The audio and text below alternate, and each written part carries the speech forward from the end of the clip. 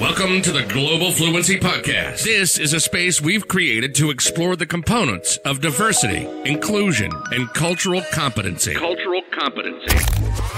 And all of the ways in which these components present themselves in our professional and personal lives.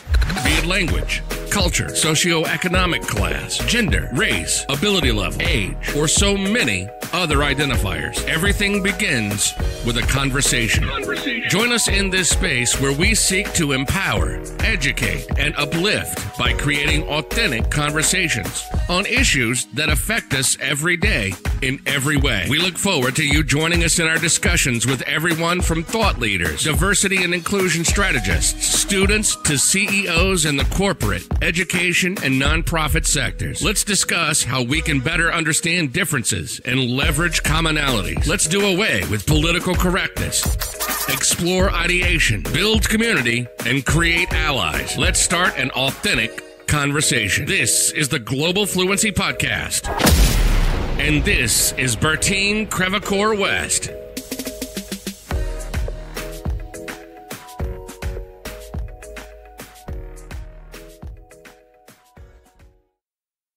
Hello, everyone, and welcome to another episode of the Global Fluency Podcast. My name is Bertine Crevacore West, and I'm delighted to be your host. I'm especially delighted to have with me today Leslie Lipson of Lipson Advocacy. So, Leslie, welcome to the show. Well, thank you for having me.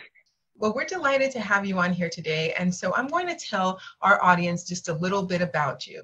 So, everyone, Leslie has an active national consulting practice where she conducts strategic planning for very specific advocacy and special education issues. She also leads parents in advocacy grouping on topics relating to special education law and advocacy. In her almost 20 years at the Georgia Advocacy Office, also known as GAO, she has provided assistance with the Department of Justice in its investigation of a parallel segregated system in Georgia for educating students with disabilities, has led the Safe Schools Initiative, and that's a multi agency advocacy effort aimed at ending restraint and seclusion in Georgia public schools. And she has coordinated the Parent Leadership Support Project that assisted approximately 10,000 families. In addition to that, Leslie has also served as a program director at the GAO for the Developmental Disability Advocacy Program, the Psychiatric Disability Advocacy Program, and the Outreach and Training Initiatives.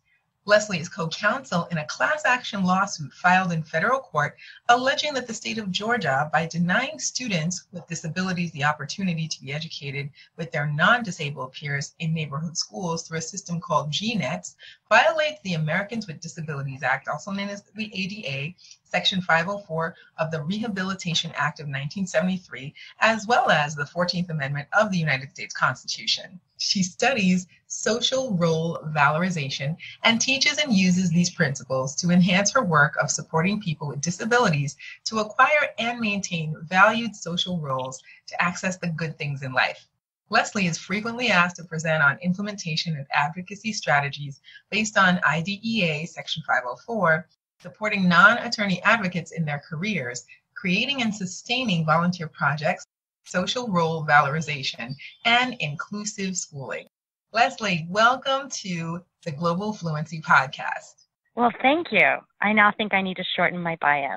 I love your bio. I think it's fantastic and so dynamic and and particularly as a parent of a special needs child i want to thank you for being such an advocate because this is what's necessary and and really it's greatly greatly needed yes well i started my career long before i was a parent and then um, god in his infinite wisdom um, gave me practical experience of being a parent of kids with disabilities and i live that part of my life also so it gives me a lot of uh, experience to lend to the work. I love it. I love it. So tell me, in addition to to what you just mentioned, what propelled you forward to to being uh, an advocate really for such a, an underrepresented population? Well, this is like an issue near and dear to my heart. I actually grew up in my grandfather's juvenile court room. So my grandfather was a juvenile court judge in Columbus, Georgia. And every time I was spending time in Columbus, um, two different things. They would say, You want to go spend the day with your grandfather when I was younger, and I'd go watch his court. And then when I was older, they were like, You're going to end up in juvenile court. So you need to go see, you know, what you don't want to happen because I was kind of a hellion. and and I spent a lot of time watching and hearing and seeing what happened to kids when we turn to systems for the things that most kids need, which really can't be provided by systems, right? Kids need love and shelter and support and opportunities for personal growth and att- secure attached relationships and mentoring. And you know, these are not things that we would say, you know, court involved youth would uh, really get in court. Mm-hmm. And um, and so part of that, and and part of my own experiences with schooling, I I really knew that I wanted to be involved in disability civil rights since before I went to law school. And I so, sought out those experiences in law schools and I had legal internships in the field of disability civil rights. And I started work at my former employer and, and still massive collaborator, the Georgia Advocacy Office, um, the day after I graduated law school. Wow. So you knew immediately that's the field you were going to be in. I really did. I really did. And it's really, it, and that's been a very, um, very motivating, I think, for a lot of, I talk to a lot of law students still who are confused, or lawyers, or anybody, right? On like, what is your own unique mission in life, and what are you, what do you put on this earth to do? Mm-hmm. And I always really felt like this was it, and that feeling hasn't ever really wavered, and I'm grateful for that. Wow, that is a rare but wonderful thing, I think because not everyone can say that they know exactly what they want to do, particularly for something, honestly, that, that seems like such a huge undertaking.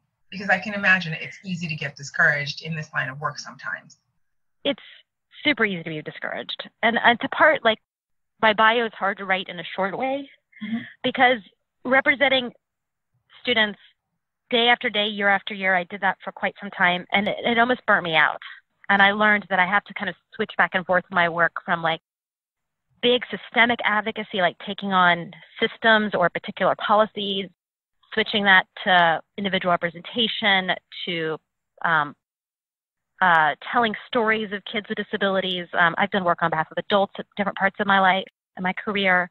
And so I, I did kind of learn that I have to, if you were looking at it, you know, almost through a frame, that I had to focus on different parts of the system at different times Mm-hmm. And that's kind of helped me stay through burnout because I think that vicarious trauma, you know, watching people, you know, experience lots of pain and people with disabilities have experienced so much pain, you know, through exclusion or through over medication or through restraint or abuse. You know, th- those things are they're very difficult to witness and to not be distanced from it and to be emotionally involved, but to also keep your own center in the world. It, it it's still challenging, but you know, I've somehow been able to ride the waves. Wow. I, I would imagine that you'd have to have honestly a huge compassionate heart to bring you into that line of work and a huge empathetic heart to keep you in that line of work because I, I believe vicarious trauma is very real and you can suffer quite honestly real physical effects of, of even listening to someone else's story. Yeah, and I had to tell you the hardest time for me was when I became a parent. Before I was a parent and I would hear people's stories and I would say, well, just go get an evaluation or just go go have a meeting or just go for more intensive services or just go find a therapist, like the just, right? Right. You know, go just do this. And I really kind of flung that stuff out there. And, you know, a couple years into parenthood, probably when my child was around, my oldest was around three, and we were in early intervention, and I was experiencing all those things as a parent, I just hung my head in shame, you know, just the kind of, it really gave me a different vantage point and the feeling then, I think I was always empathetic to mothers and fathers, although mothers call me more than fathers. Yes, I feel like that's the, the trend that we see. Mothers, and it's not, you know, for lack of love or anything like that. It's just, I think mothers, we tend to see them just taking the mantle um, more so than the fathers. And I think sometimes that has to do with perhaps family dynamics, but also I think um, women are capable and able to deal with this sort of thing, um, just discussion of disabilities a bit more openly than men sometimes. I think a lot of that has to do in part with our culture around what mothering means and what fathering means. Yes and and probably some stuff to do with misogyny and sexism on a woman's role in parenting. Mm-hmm. Um, I I really kind of push against some of those notions, and I really when I get involved with families, I really push the families to bring fathers in because you know unfortunately, even for me, like actually I got an email the other day from a teacher. My kid was having a really difficult time at school, and she just sent it to me. When I emailed her back, I said, "You "Please include my husband in these emails." Absolutely. Oh, and I'm i think that did that. I think that yes, and you know, and so I think in part the system I think is parents' messages really young that you know they contact mothers to schedule meetings and not both parents. You know, I think there are pieces of it that are the system, and then workplace flexibility. I don't know if you saw recently they just did a ruling that you can use Family Medical Leave Act to go to school-based meetings. I did not see that. I did not see that at all it just came out like a, the Department of Labor, I think. I think it's the Department of Labor. Um, I would need to check that. And you're not supposed to say that on a podcast, but I would have to check that. Um, I think they came out, but but the federal government came out, that's for sure, and said that people can use Family Medical Leave Act to go to IEP meetings. And all over the internet, there was this hue and cry how great it is. I was so depressed by it. Tell me why. so depressed by it. Because if we're thinking about the regulatory system that provides educational opportunities to kids with disabilities, the idea to access it, you have to take unpaid leave uh, for a group of people that yeah. is that is that are often very financially strapped. These kinds of services are massively expensive. Mm-hmm. Um, uh, we oftentimes have trouble finding childcare, finding after-school care, finding daycare. There are limited opportunities, unfortunately, for adults with disabilities. You'll find a lot of parents with kids with disabilities who then their children are adults with disabilities doing a lot of caregiving throughout their lifetime. And this oftentimes results in job insecurity, people having trouble keeping jobs, people having trouble, you know, growing in their jobs and getting new opportunities. And the idea now that in order to access any of these things for your kid, you can take unpaid leave. I find that depressing. I might be the only one in America, but wow. but you know something, Leslie, you you shifted my perspective on that because you know at first when you're hearing it, I'm thinking this is fantastic. You know, people will have an opportunity to attend these IEP meetings and be fully present and not be worried about work. But then when you mention it that way, it's it's discriminatory because now, yeah, and it's burden. Yes. People act like having yeah. a kid with a disability is burdensome. Right. But I would tell you, from what I see, the burden is not having a kid. I mean, having a kid with a disability has its own pieces, right? And parenthood is hard. Yes. Oh, it's so yes. hard. but a system that requires that to access anything for your kid, not even quality services, but any services. Yes. Um, I think that's really burdensome.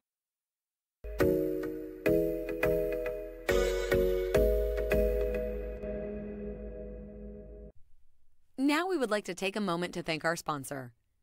Westbridge Solutions is a professional training company focusing on diversity, inclusion, cultural competence, and soft skills trainings. Westbridge Solutions offers a variety of innovative training courses, both in person and online, live and self paced. Their clients include corporations, government organizations, healthcare organizations, the nonprofit sector, universities, and individuals such as yourself. Through their rigorous training programs, trainees learn to understand differences, leverage commonalities, and achieve organizational, professional, and personal actualization. To learn more about Westbridge Solutions, please feel free to visit their website at www.westgrouptraining.com or follow them on social media on Facebook and Instagram. Westbridge Solutions, empowering professionals for success.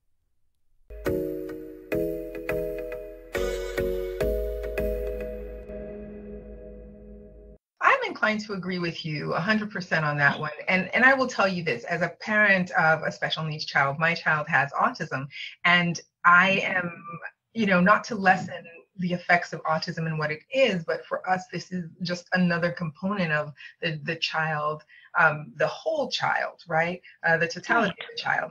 And so I, I always say when people ask me what's the hard part, what's the hardest part of, of being a, a parent of a child with autism, I always say the honest truth other people and their low expectations, you know, um, right. because there's so, and, and then access would be the other thing, right? I think about um, that, that we are fortunate that we are empowered with information, right? And that's a time to develop and grow. Um, but I happened to to work as an interpreter for um, nearly 10 years, and so I was working in IEP meetings. I was interpreting for um, mm-hmm. system and educators and families, and then I was teaching others how to interpret properly for an IEP because that's a very specific high register terminology, and there are dynamics. Oh yeah into consideration, right? And then culture, and then you know, um, even from the the teacher's perspective, there may be an alpha teacher that may be dominating the meeting. Mm-hmm. To, you know, we have to navigate those waters. So mine was not to control the information, but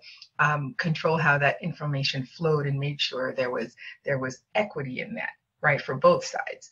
And so. Mm-hmm from that, I, I had no idea that I would have a child with autism. And so when I did, and we learned more about what autism was, I thought, okay, well, I know about the IEP process. I can just go in there. But then when it's your just, child, the just, yeah, the just shows up, right? I'm guilty as charged because when it's your child, your entire mm-hmm. perspective changes. And you're like, that's why that dad was so upset and and i think again how fortunate am i and how fortunate are you um, that we are fully fluent in english and and bicultural with regard to understanding how how the education system works as well as the american system but the american education system and how that functions with regard to special needs kids. And for families that don't have you know either if they're not fully fluent in English or if they're unfamiliar with how the, the special education system works here in America, um, it can be, I can't even say it can be frustrating, it can be mind boggling. And now I was able to better understand why I would walk in and see angry parents before I even said anything. You know, absolutely. So that just like we're we're guilty of the just, and we're not the only ones. But it the children change your perspective, and I have to say, I, I, always look at my son and think, what a special gift you are to not only me and your dad and you know your entire family, but the world, you know, and and the goal for us is to get people to see our child before they see his disability. And so that's why even when um, I'm speaking to people and they say, um, oh, your son is autistic, or they're referring to anyone as autistic, uh, I always think the culturally competent thing to do is to see the person uh, before the disability. So, of course, you acknowledge the disability, but my son, I refer to him as, you know, a boy with autism, or a boy living with autism, or a boy on the autism spectrum. And so I think the way we choose our words is really, really important. And so, but I will digress if, if you let me. So, one of the things I wanted to ask you about your work um, because I, I, think this is really important to mention. Um, and I've been living in Georgia for over a decade, close to 12 years now, and almost 13 actually. And I did not know up until just a few years ago that that there had been this policy to restrain and separate children with special needs and disabilities. Can you tell us a little bit more about that? Because your role in trying to um, do away with that is significant. Yes. So yes, I can tell you about that. That was um, one of the first court, one of the first cases of kids that I ever represented. Um, and this is a long time ago. This is like my first year of work. A mother called me, and I'm going to make a long story very short. Mm-hmm. And she said, "My child is about is eight years old, and he had autism also, mm-hmm. and he is totally toilet trained. They're totally. Mm-hmm. And the school keeps on calling me and saying that he is having accidents. And I took him to the neurologist. There's nothing going on with his system. He has no issues at home, and I don't know what's going on at school. Mm. She was lovely. I was like, I have no idea either. I was like, and most of my cases I come to, I really think, and this is important, I think, for advocates, is to come with a sense of curiosity. So what, what's going on here? Yes, indeed. So so you know first of course you look to medical And then as I started diving into this particular case, and I, by the way, I have looked for this mother over and over and over again to tell her what an impact she and her son had on me. And oh. they have a very common name, and I cannot find them. Um, you know, maybe she'll hear this one day. And we started delving into that. Mm-hmm. And it turned out that he was being put, he was at a school called a GNET school, mm-hmm. um, which is a segregated school system in Georgia for kids with emotional behavior disorders. Mm-hmm. And he was being put in a timeout room every day okay. for behaviors that um, that violated whatever adult in charge thought. And he learned in that timeout room that if he went to the bathroom, that they would call his mother to bring him a ch- bring a change of clothes. Oh, so he was reaching out for his mother. Yes, and he learned that urinating on himself would get him out of the room. Oh, goodness. And that was the first time I came in contact with two things. Number one, entirely segregated school system for people, for kids with emotional behavior disorders. So if I said we have an entire segregated students for segregated school system in Georgia for kids who are Hispanic, you'd be like, what? Like all sorts of other segregation we we try very much not to accept, even though we all know it happens. Mm-hmm. So it's the first time I became aware of that system. The, the next thing I became aware of is at that point, you could restrain and seclude a kid in school for any reason and any which way you wanted for as long as you wanted and never tell the parents and never have any consequences. It was wholly and totally unregulated. That's insane. And that, by the way, is this is still the current state of practice, I think, in 32 states in America. I need to look that up again. But as of last time I looked, 32 states in America, that is still the policy. And so at that point, I started working against the use of restraint seclusion in public schools. The data is super clear that restraint seclusion is the most dangerous practice that happens in public schools. It hurts students. It physically hurts teachers. It's actually, it's dangerous for people, like for students who have asthma to be restrained. Um, for any little kid or even bigger kid to be restrained by bigger people and many bigger people, it's just dangerous. Yes. It also is vicarious trauma for teachers, I mean, we could, you know, no teacher went to school and was like, I want to learn how to manhandle kids, right? They're not into it. That's not why they got into this. Not at all. Uh-uh. Not at all. Not at all. They're not happy about it either. And so, but it becomes a de facto compliance protocol for many kids with disabilities. And so I'll fast forward quite some time, but I did a lot of casework on that and a lot of talking about it and making people aware of it there's a young boy who was 13 years old named Jonathan King. And if we have notes to this podcast, we should definitely put a link into the story of Jonathan King, who died in a, he was 13 years old, had ADHD, was in a GNET segregated program, and um, hung himself in a seclusion room in um, North Georgia in, what year was that? Maybe 2007. Oh my goodness. And the and then a couple and that was huge it was the front page of cnn big national issue the use of um, you know the total unregulation of this very dangerous practice. By the way he had had a dress code violation and they gave him twine to hold his pants up and then put him in a seclusion room and didn't monitor him and he hung himself with the twine. Oh goodness. Jonathan only had only that Jonathan had ADHD, and his parents, by the way, he'd come home and his parents would say, What happened at school today? His parents, by the way, Don and Tina King, the loveliest people. And he would say, I went to timeout. And like, what do you think timeout is, right? We all think timeout's the same thing. You're outside the classroom, you got a dunce cap, you're in the corner, right? What's timeout? Much, yeah. They had no idea he was in a locked seclusion room. That is so fast forward again, and there were two amazing women who were the co-directors of the Department of Special Education for the state of Georgia, Kim Hartzell and Nancy O'Hara. Mm-hmm. And they um, convinced the state of Georgia, in part honoring Jonathan King's legacy and really thinking about what's going on, a rule regulating the use of restraint and seclusion in Georgia. So we have a lot of literature about reducing the use of restraint and seclusion. The literature is not from schools or education. The literature is all from psychiatric facilities. Wow. So there are locked inpatient psychiatric facilities that have totally eliminated, never used restraint seclusion. Now, schools all over America use them all the time. So the number one way to stop use of restraint seclusion is people need to be restrained, understandably, on the way to the seclusion room. If I knew you were going to take me and lock me in a small room, I would fight you hard. Yes, yes, indeed.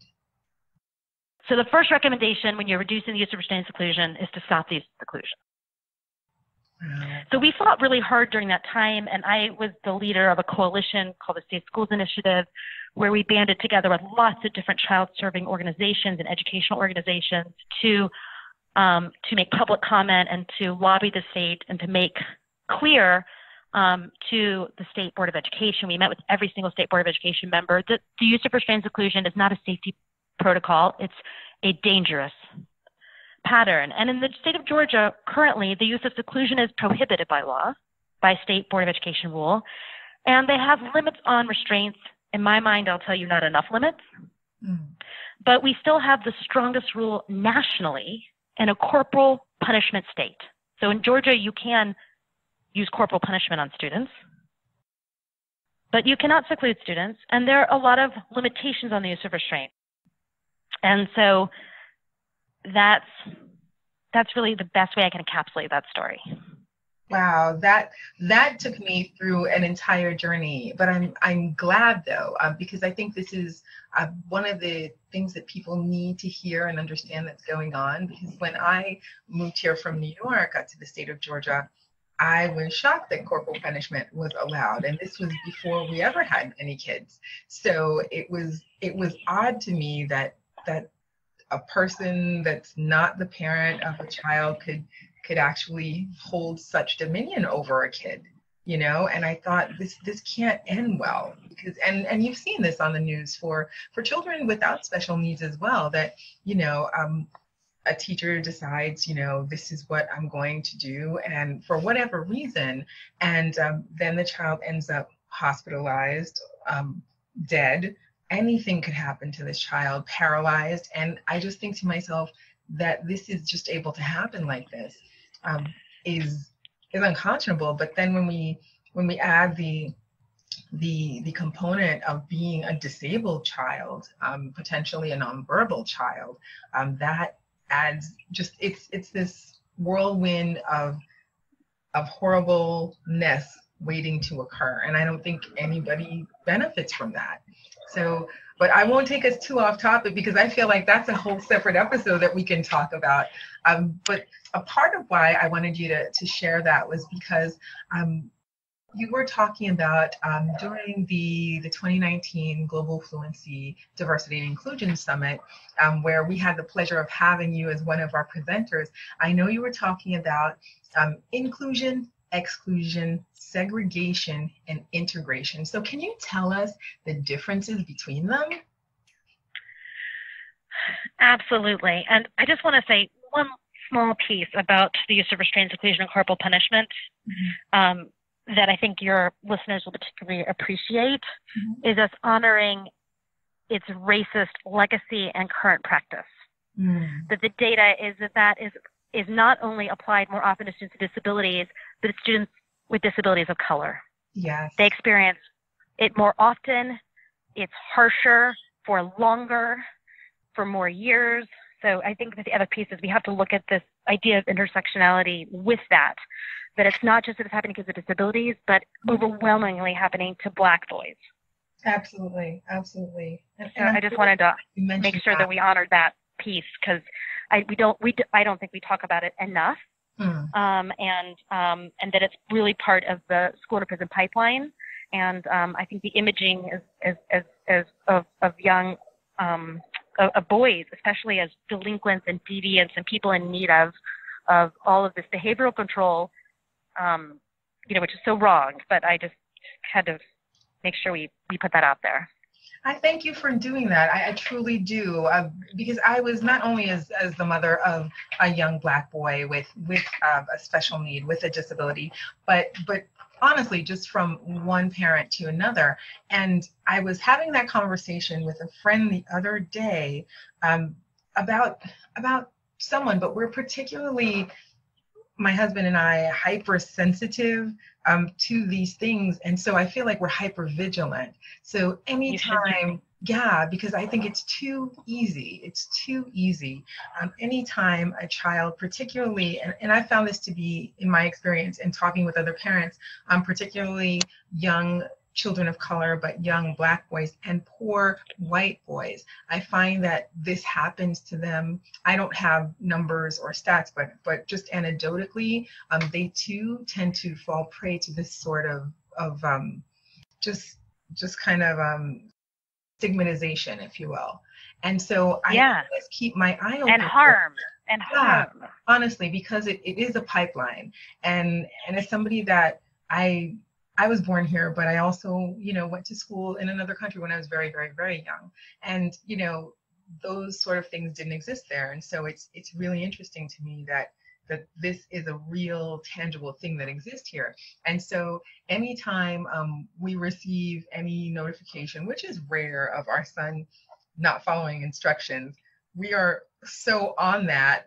And and it's it used to be out of fear, but now but we were fearing that he would be stigmatized or things like that. But now it's more so to protect him and to ensure that his path remains clear and and in a positive way, you know. And and I just think Okay. neurotypical parents, think- you know, they don't deal with things like this if their children act up. They don't have to think about stigmatization and consequences to that effect, you know. Well, I think especially, um, I think giving parents validation that these are real and true worries. Mhm. These are not overreaching worries. These are worries encapsulated in the data, continual over time, and and harmful across the nation. You people act like it's the South. The data in the North and and I mean other places where there are children of color, it is consistent. So you know this is a, a national issue, um, and and and and and um, and and good for you and your husband. And and people need to know on the outset. If you want, I'll send you this amazing letter. It's a no restraint letter. You do not have consent to restrain my child. Do not restrain my child. People getting ahead of the issue. We've got a good format template of that, and I would suggest that all parents of kids um, that may have um, that may have the possibility that the school may try to um, enact that kind of behavioral control over students, go ahead proactively and send that letter. Wow. I would love it if you would send us um, that letter and I'll create a link for it um, within this podcast where people will be able to access it. I think that's a Great. fantastic thing. I hate that it's necessary, but I, I love that it exists. Yes, and I'll also, if you also have a place to create links, I'll send you a link about the use of restraint in these segregated schools of students of color. AAJC did a great in-depth investigation. It has great data, and you can click on your district and see what it looks like. That's So I can also send you that. Thank Okay, and now we can move Thank you. to Yes, and now we can, yeah, because as I said, inclusion, inclusion, inclusion, multiple exclusion. episodes in one. but yes, go ahead. Inclusion, exclusion, segregation, and integration. What's the difference? Okay, and actually, um, remind me at the end of this quick explanation, we can also talk about how race plays into this because it also has a major indicator um, along racial lines. Oh, okay. Um, so, two terms I want to go ahead and distinguish for us initially is the idea of inclusion as a legal term used in Georgia or even nas- and nationally, and what really inclusion is. So, our federal government says if kids are included, do you want me by the way, do you want me to talk about kids or all people? Um, you know, let's talk about all people. Let's talk about all people. Okay. Mhm. Okay. So let's talk about inclusion. What does inclusion look like? Mhm. So inclusion is the idea that um, your people have social integration and they have a valued role in their community.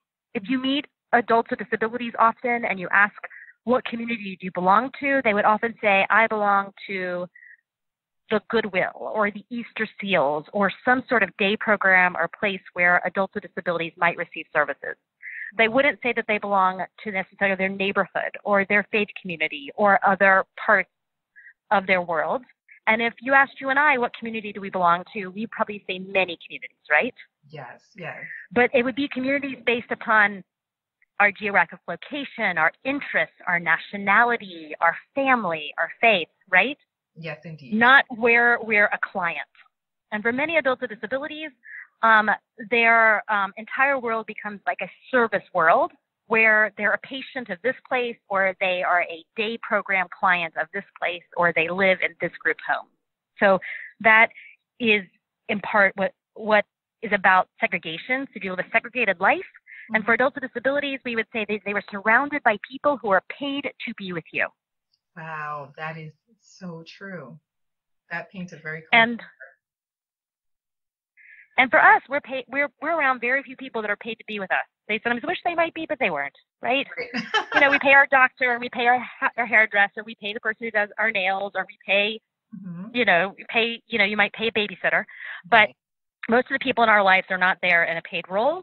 And even if you meet somebody who's paid to be with somebody else, chances are when they leave the job, they leave the relationship. Yes, that's true. That's one way you'd know, right? Yes. And so for adults with disabilities and people with disabilities, we look at people being included in their community and not in separate parts of their community. So an example of the faith community would be um, places that have um, special needs ministries or special ministries. So most people go to church services on Sunday morning, and they would have a special service for people with disabilities on Wednesday nights at seven. Like that would be an example of of of not inclusive opportunities. That would be a segregated opportunity where you go to services only with other people like disabilities. Right. Mm-hmm. And so, so it inhibits your ability to create relationships. It also inhibits your social learning. And even if we're thinking about young people, let's say somebody who is nonverbal. And a lot of kids who are nonverbal or adults who are nonverbal end up in communities and end up in service systems with a lot of other people who are also nonverbal. Well, we know from research the best way to acquire language and acquire good communication skills is to be around other people that have good communication and good verbal skills. Absolutely. So the other part of it is many people with disabilities who do have social skills deficits continue role modeling and learning maladaptive social skills mm-hmm. because they're in communities of people and around people all the time that also have poor social skills or communication skills or behaviors. You know, my grandmother used to say, "You run with dogs, you get fleas." Absolutely. Fleas. And so we learn from that. Peeking into my conversations outside of this podcast because I've been saying this from the time my little one started speaking and i just think it's it's really important and and i'm not sure about you but for us um, he currently attends a special needs program in a public school but he's been in private school with neurotypical kids we make sure that the the summer camp he goes to is an inclusive uh-huh. camp because that that camp has neurotypical children as well as adhd autism downs what have you and i really love that and and a friend once said to me why are you making it so hard for him? And I said, I am having him learn. And he can also teach kids that are unlike him things about him. So I, I do think it's important for um, children who are experiencing any sort of disability to be with children who are not, because not only do the uh, children with disabilities learn, but the, the children without disabilities learn how to honestly be more empathetic, compassionate, and they, they learn to see friends in all different forms. Thank you for joining us for this episode of the Global Fluency Podcast.